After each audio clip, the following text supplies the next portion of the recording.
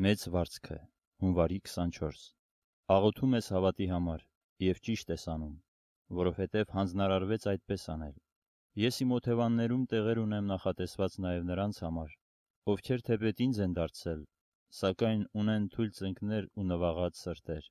Մի վախենա, ես քո Աստվածն եմ, քո մեծ վարձքը։ Քեզ մնում է միայն վեր նայել ու ասել. ամեն ինչ լավ է։ Ես եմ քո Աստվածը։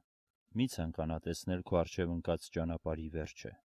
Դու քայլիր քո առջև եղած տեսանելի ճամփով։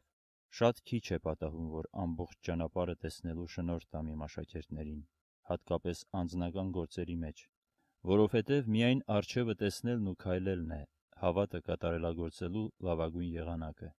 Չքարտեզագրված ջրերի մեջ ես, սակայն քեզ հետ է Տերը բոլոր ծովերի։ Քեզ հետ է սաստողը փոթորիկների, ցնծա ու երկիր քո ճանապարհին։ Լուր հետևիր սահմանափակող Տիրոջը։ Հետևիր Աստծուն, որովհետև նրան ծառայելու մեջ է կատարյալ ազատությունը։ Նա տիեզերքի Աստվածը կաշկանդելով դրեց իրեն մանկան նեղանցուկ մարմնի մեջ։ Պատանեկության ու երիտասարդության տարիներին իրեն կամովին ենթարկեց մարդկային բնության սահմանափակումներին։ Նշանակում է դու էլ պիտի սովորես քո իմացությունը եւ կարողությունը, որոնք անսահման զորեղ են հոգեվոր իրականության ասպարեզում, սահմանափակումների ենթարկել աշխարհային գործերի մեջ։ Այսուհանդերձ ես քեզ հետ եմ։ Երբ իմ աշակերտները ձուկ որսալու համար ողջ գիշեր չարչարվեցին ու մնացին ձեռնունայն, ես երևացի նրանց,